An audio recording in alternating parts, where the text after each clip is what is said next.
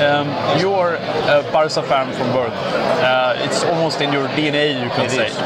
And the case we were talking about today, you were presenting this journey where Barca was in huge problems, a huge crisis, uh, and it was a transformation. Uh, so, so what made you interested in, in uh, dissecting this case?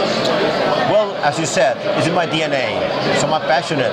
Whatever uh, relates to Barcelona, I'm obviously interested. Yeah. But the key aspect it was that idea that many people believe that football, being a sport, a sort of you know um, entertainment business, it, everything is about chance and about paying money and getting you know big players and you know ball running. And that was the case. The, the case was a, a very well uh, pers- uh, planned and implemented transformation program by these guys in 2003 that really created a holistic and integrated approach to what Barca had to be from a social perspective, from a sports perspective, from a financial perspective, from a marketing perspective.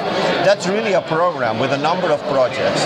And the idea or the motivation for that was not only that I love Barca and whatever is around it, but also I love project management. And Barca makes a great case study to see how project management can be your tool for success. Yeah. That was the main motivation for me. And the interesting thing was um, the, the start was the vision, and, and you said that Barca is more than a club. The vision, Barca is more than a club. Correct. The more than a club motto was developed during Franco times to mean that Barca, behind the sport, behind the football, is the Catalan identity, also the demo- democracy identity against the Franco regime. But then in 2003 had to be transformed into something else because we already have democracy, and so the more than a club meant, in an international uh, meaning for the word, that the Barca would be a club with values, uh, with strong ethical values, with a love for football, with best players but also best people. So more than a club meaning that is something that is an identity, it's a feeling that is not only related to Catalan people but also to world population and create a sense of um, you know friendship, uh, meaning of um, fair play, humility, and of course spectacular sport, spectacular football, quality product, quality customer experience. Barca means all that. So what happens within people when you start with a vision? Well, what happens in general in many companies is that they consider a vision like a statement, something that you simply pronounce, and then the rest will follow. The interesting case in Barcelona is that developed this vision out of the mission statement. The vision was called the virtuous circle, and that was easily translated into a number of projects.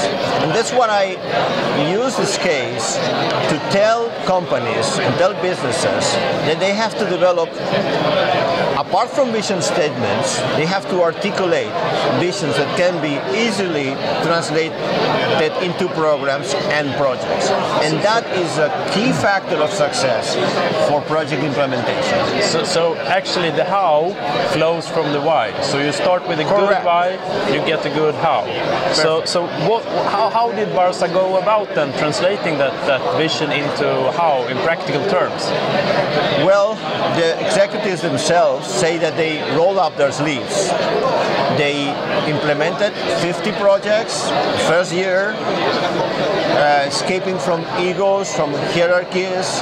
The video I play by Mr. Marc Ingla, who was the vice president, he explains how hierarchies or egos or statuses were not relevant.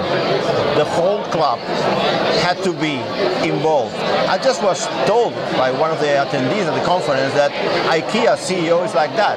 He, he spent some time in the in the business Yeah. to see you know, what is the customer experience. So this involvement by executives, far from being too hierarchical, I think is a is a great example that we get from Barcelona and also from IKEA. Yeah. To have streams actually leading to customer value rather than hierarchies going up from down. Exactly. It's all around the customer experience, and we all work for that. And the, of course, the position at some point is relevant because someone has to make the decisions.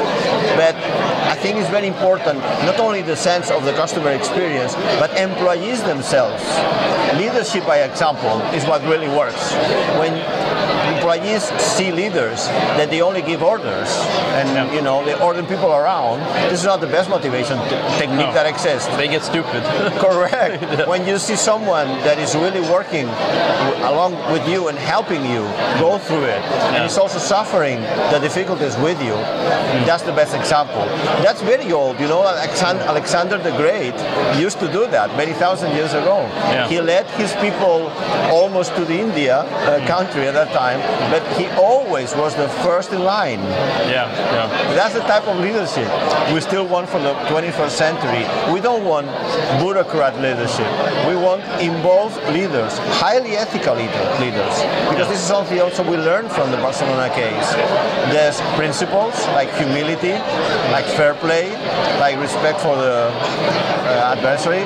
All those values really impregnated the whole project, the whole process. Wow. Oh. And that's very important because that's the real motivator that makes people, you know, stay hours hmm. and do the best. Yeah. And you Yeah. know the success of Barca was unbelievable. And still many people think that maybe the chance that the ball, you know, entered the, the net. But that's not the case. It was six championships out of six championships in 2009, 2010, and nothing was due to fortune, to luck. Everything Right. was carefully planned. Everything was carefully, let's say, uh, ignited with this tremendous passion for the values that Barcelona conveys. I think this is uh, so interesting be- be- because what you painted so so well during your lecture was a plan and a system, uh, and a system built around values. So, so one question that would resonate in my mind is there something that is uh, the top of top of mind or the, the preceding principle in all this, or is the key really to create a system and balance the system?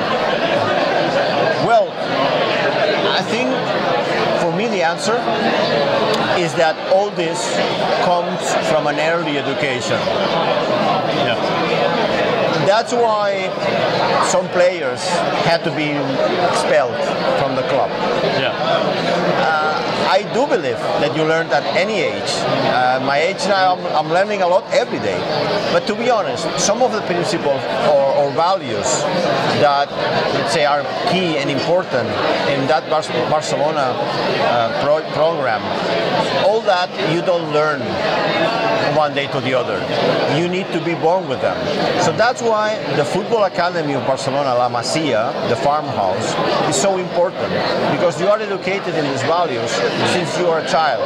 So players of Barcelona, uh, like Iniesta, Messi, Xavi, Piqué, at the time Cesc Fabregas, and many others, they only they did they did learn the Barca style of playing. They were always talented, but also they learned principles and values that you will never abandon for the rest of your life. And that's the key factor, the balance, the system. That is not something that is written in papers. It's already there. So the merit, the credit of um, coaches such as Frank Rijkaard of Pep Guardiola is, is high, is great, but it's limited to their role because the core values were already implemented in the minds of these people. What you need is coaches and project managers that live by, this, by, these values. You need, you need those CEOs that, that get involved and that they really help people, that they are humble, you know.